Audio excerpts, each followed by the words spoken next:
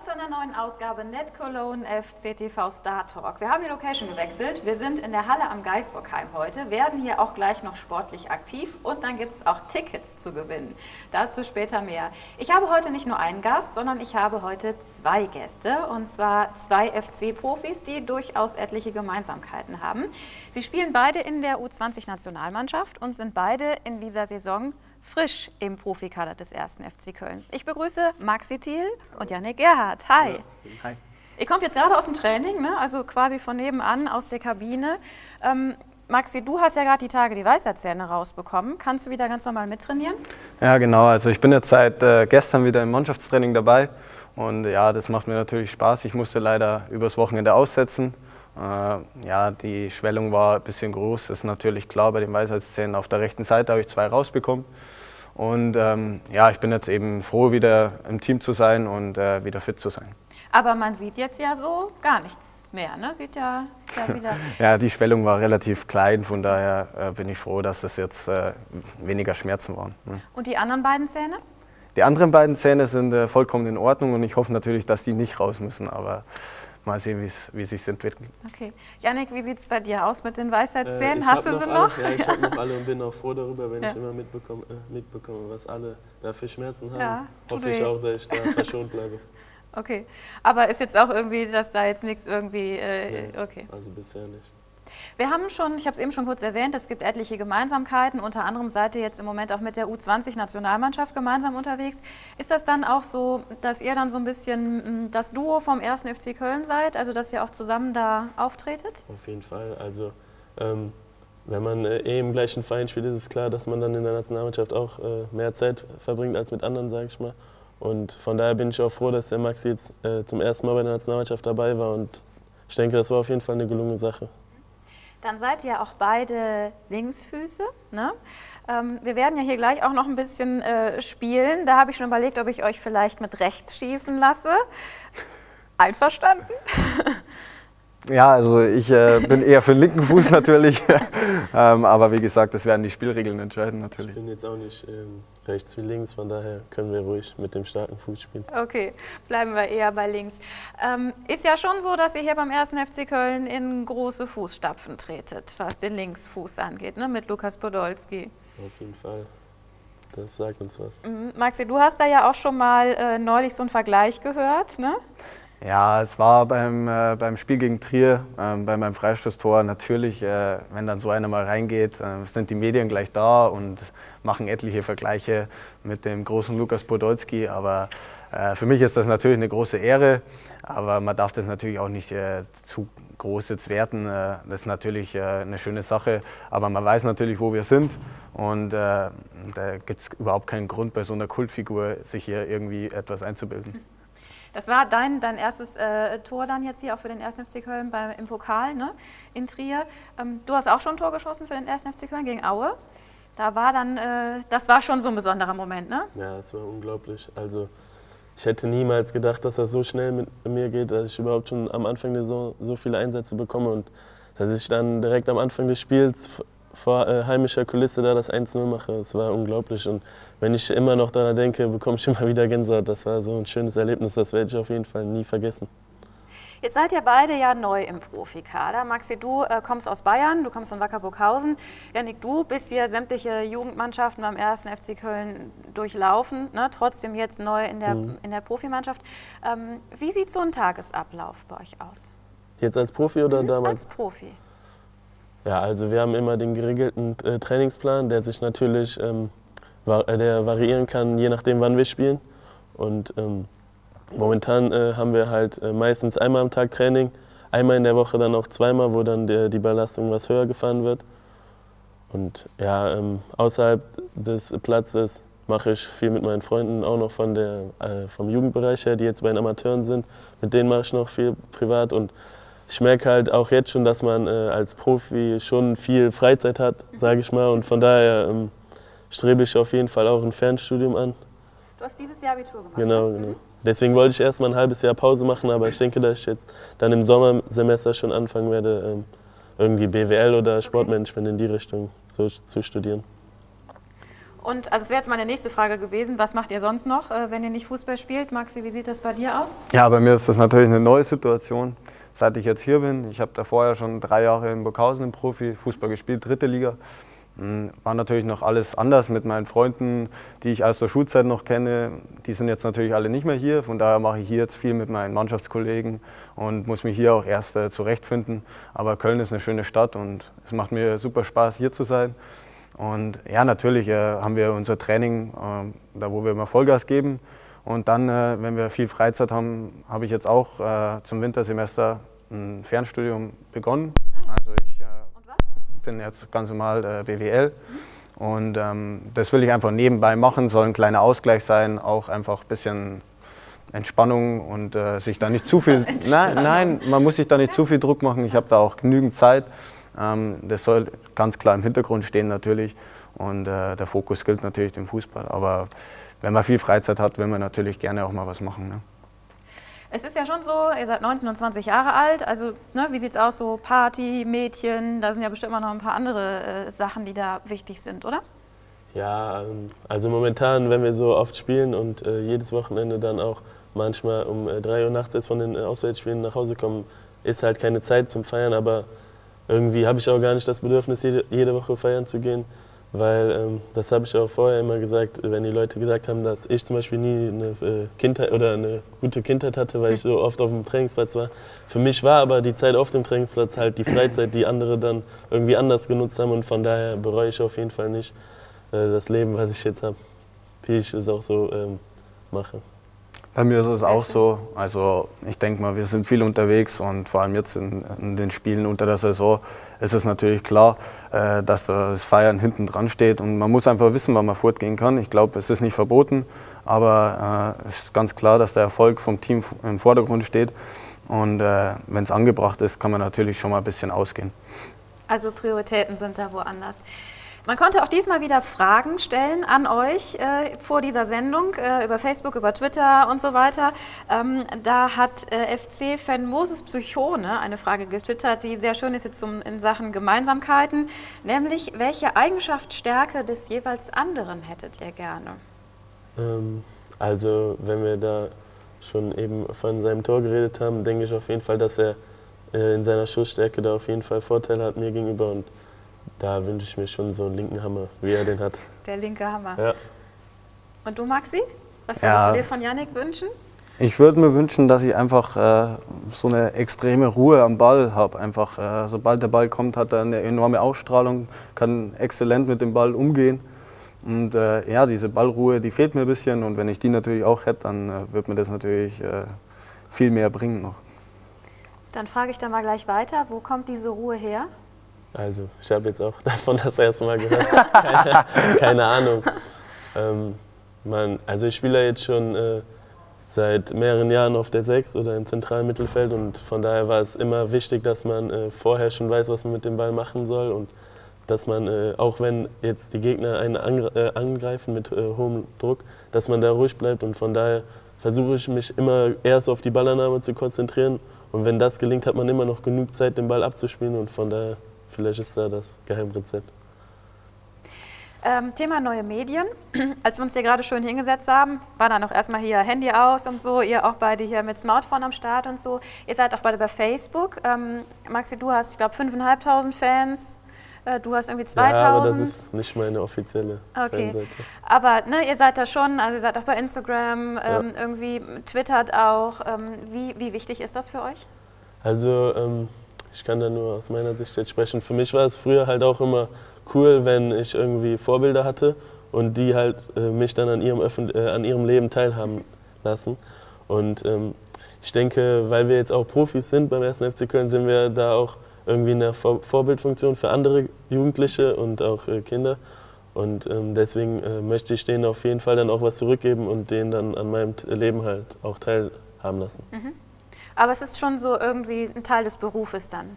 Ja, aber es macht mir auch Spaß, jetzt irgendwie so lustige Bilder von mir hochzuladen. Das macht schon. Und machst du das auch selber? Ja, auf jeden Fall. Ja? Nee, ich mache das komplett selber. Mhm. Und du, Maxi? Ist bei mir eigentlich ja. ähnlich. Also ich äh, bin jetzt, seit ich hier bin in Köln, wo ja jeder weiß, äh, dass Köln eine absolute Medienstadt ist und mit den Wahnsinnsfans, ähm, war mir einfach ähm, bewusst, dass ich jetzt vielleicht irgendwas machen kann und ich stehe zu den Medien und ich mag die Medien gerne. Und von daher ähm, hat es für mich dann nichts zu überlegen gegeben, dass ich mir da auch einen Twitter-Account dann zulege und auf Facebook eine Seite erstelle. Ähm, das macht mir Spaß und natürlich übertreibe ich es jetzt nicht und man muss natürlich schon schauen, was man postet. Aber ich denke mal, äh, so wie das läuft, ist ganz okay. Mhm. Dann ähm, hat ähm, Merle Kölking eine Frage gestellt, die jetzt sehr gut passt, dass wir euch noch ein bisschen besser kennenlernen können, nämlich kurz und knapp, wie ist dann euer Lebenslauf? Also vielleicht einfach mal kurz, dass äh, jeder von euch in so wenigen Sekunden so ein paar wichtige Stationen irgendwie nennt. Wer möchte ja, anfangen? Ich kann anfangen. Ja? Also ich habe mit drei Jahren Fußball begonnen, also Fußballspielen wow. begonnen beim SC Kreuzer 05. Du kommst äh, aus Düren, ne? Ja, aus Kreuzau. Kreuzau. Das ist, ja. Ich sage halt oft Düren, weil man Kreuzau nicht kennt. Und ähm, ja, genau, das war meine erste Station. Bin dann äh, im Sommer 2003 zum ersten FC Köln gewechselt. Das war damals in der E2-Jugend mhm. oder U10. Vor zehn Jahren? Genau, mhm. vor zehn Jahren. Und seitdem habe ich äh, so jede äh, Station durchlaufen, jede Jugendstation. Bin mit der U17 deutscher Meister geworden und äh, dann in der, mit der U19 nochmal äh, Pokalsieger. Und das sind auf jeden Fall so zwei Titel, die mir äh, immer noch immer in Erinnerung bleiben, weil wir da ähm, wirklich einen super Jahrgang hatten und auch klasse Fußball gespielt haben. Und äh, ich denke, diese beiden Erfolge haben mir dann auch Auftrieb gegeben jetzt hier in der ersten Profisaison und von daher, ja, das war jetzt so. Die Fritz-Walter-Medaille ja, noch in Ja, genau, Jahr. ja, damit hätte ich gar nicht gerechnet, dass ich ähm, vor zwei Jahren oder so war ich noch nicht mal Nationalspieler und hätte mir nie irgendwie äh, im Traum gedacht, dass ich irgendwann mal diese Fritz-Walter-Medaille bekomme und dass ich die jetzt echt in Silber erhalten habe, äh, macht mich richtig glücklich. Und ja, das war dann auch noch so ein äh, persönlicher Erfolg, den ich dann in meiner Karriere bisher hatte. Aber ich hoffe, dass da noch einige folgen werden. Und jetzt Profi beim ersten FC Köln. Maxi, du kurz mal? Mm, ja, bei mir ist das ein bisschen anders natürlich. Ähm, ich habe mit fünf angefangen, in Burgkirchen Fußball zu spielen. Das ist äh, zehn Kilometer von Burghausen entfernt, in du kommst südöstlichen Bayern. Altötting, ne? Da Altötting bin ich mhm. geboren, Burghausen Fußball mhm. gespielt und Abitur gemacht dann und äh, in Burgkirchen aufgewachsen. Und äh, ja, mich hat es dann relativ früh nach äh, Burghausen gezogen.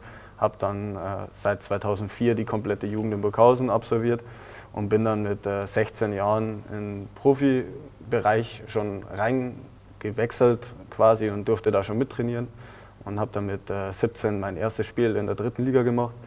Ähm, habe dann auch drei Jahre ähm, dritte Liga gespielt, ist auch sehr gut gelaufen. Ähm, was ich nie vergessen darf, U17 Bundesliga war für uns in Burghausen ein Riesenerlebnis, äh, was dann auch dazu geholfen hat, dass ich äh, den Sprung in den Profibereich geschafft habe. Ja, und dann äh, nach den drei Jahren dritte Liga ähm, hat es mir dann irgendwo gereicht und ich wollte auch mal was Neues. Und dann ist äh, natürlich der erste FC Köln gekommen und hat mir dieses Sprungbrett einfach äh, gegeben. Und ja, jetzt bin ich hier und äh, hoffe einfach, dass, dass ich mich etablieren kann und in der erfolgreichen Mannschaft einfach Fuß fassen kann. Und ähm, ich habe drei Jahre Vertrag und äh, ich hoffe, dass ich so lange wie möglich hier sein kann.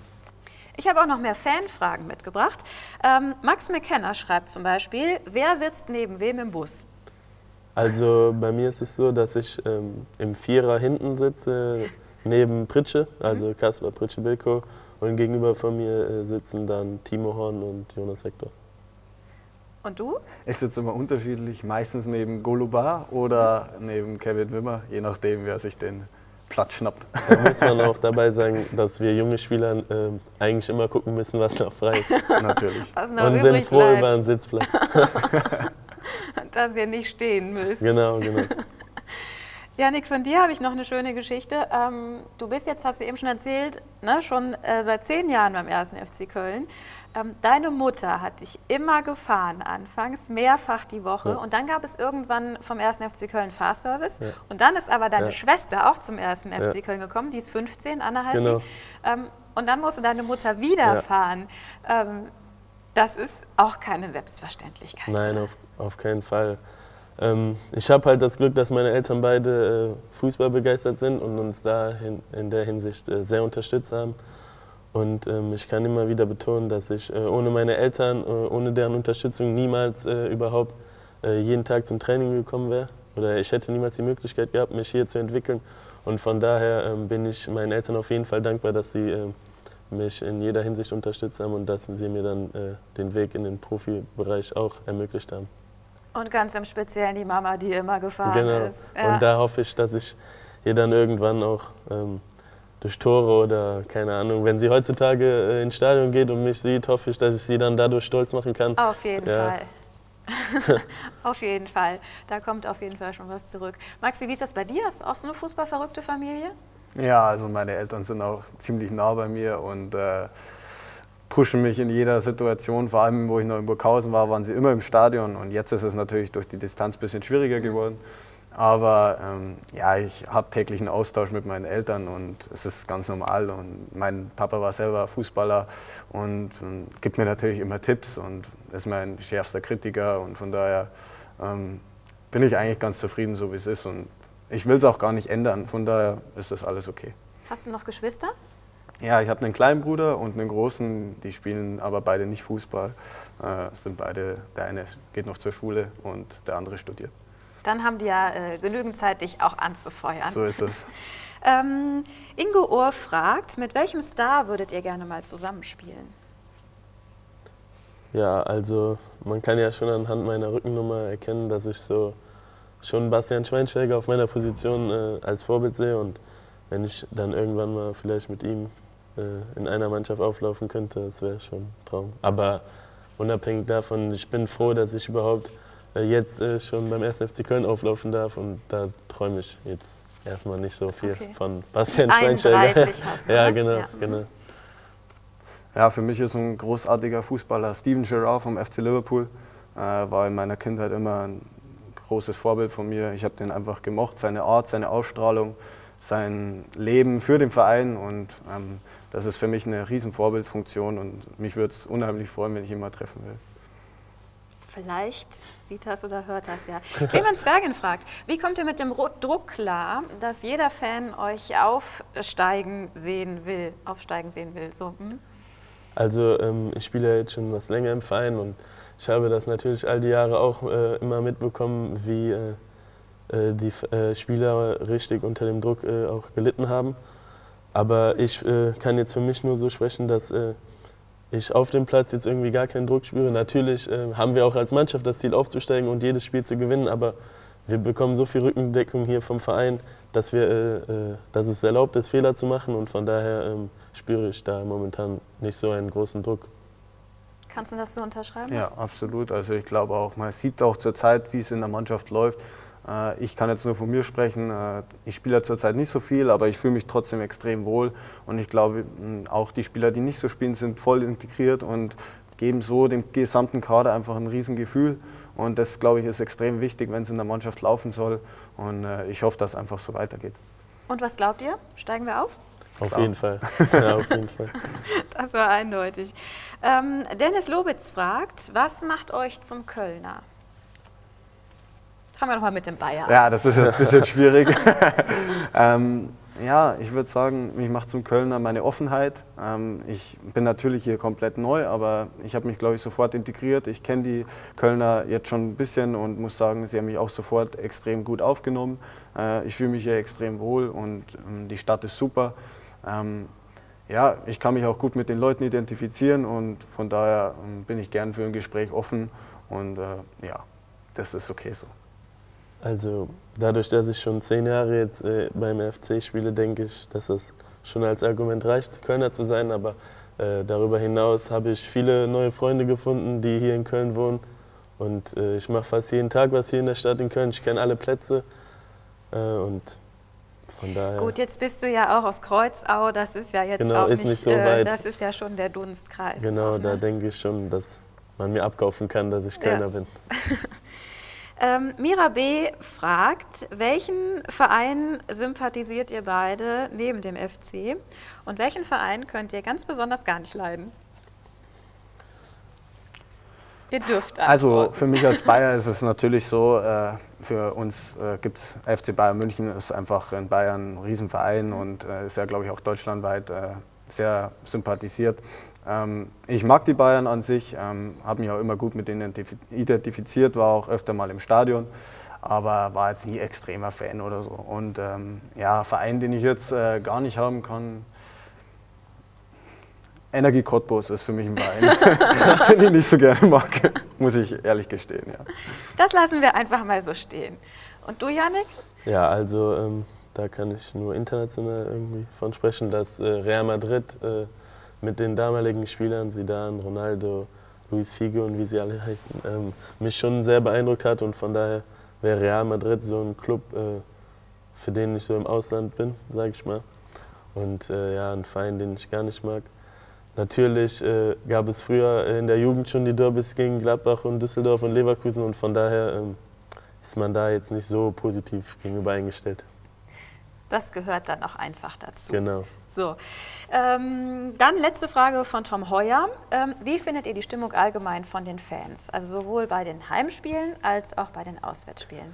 Das ist äh, unglaublich. Ähm, erstmal zu den Heimspielen, wenn wir gegen äh, Düsseldorf vor 50.000 spielen, gegen Kaiserslautern vor 50.000 spielen oder dann auch gegen Aue äh, vor ausverkauftem Haus spielen, das ist unfassbar. Und wie die Fans uns da äh, das ganze Spiel an pushen, das ist unglaublich. Und äh, das, das ist dann die eine Sache. Aber wenn wir dann äh, Auswärtsspiele in Aalen haben oder in Cottbus, wo die Fans dann, oder auch in Mainz, wo die Fans in der Woche ja. so eine weite Strecke auf sich nehmen und uns äh, das ganze Spiel äh, wirklich pushen, das ist äh, richtig geil. Und äh, ich bin auch froh, dass wir ihnen dann mit den Siegen momentan etwas zurückgeben können. Und ich hoffe, dass das dann weiterhin so erfolgreich bleibt. Ich glaube, da muss ich nichts dazu sagen. ich glaub, Kann man so unterschreiben. Die Fans sind hier überragend. Ich, für mich ist das komplett neu hier und ähm, ich liebe das. Mir macht es Spaß, schon allein die Saisoneröffnung vor 25.000. Die Spiele immer ausverkauft, der Gästeblock ist immer voll. Das ist Wahnsinn. Und ich hoffe, dass es einfach so bleibt und dass es so weitergeht und äh, dass wir zusammen marschieren. Ihr müsst jetzt hier und heute ohne Fanunterstützung auskommen. Ähm, wir werden jetzt gleich Lattenschießen machen. Wir haben überlegt, äh, sieben Meter schießen, aber wir haben uns für Lattenschießen äh, entschieden. Seid ihr dabei? Auf Klar. jeden Fall. Was äh, glaubt ihr, wer gewinnt? Ich glaube, ich gewinne. Ja, ich denke schon, dass das äh, eher mein Gebiet ist. werden wir ja gleich sehen. So, liebe FC-Fans, ihr könnt jetzt tippen, wer von den beiden gewinnt, Maxi Thiel oder Yannick Gerhardt. Und dann, und dann schreibt ihr das in die Kommentarfunktion, euren Tipp, wer gewinnt. Und es gibt Karten zu gewinnen. Karten für das Heimspiel, für das Spitzenspiel gegen Union Berlin am 4. November. Die Auflösung gibt es im nächsten Video.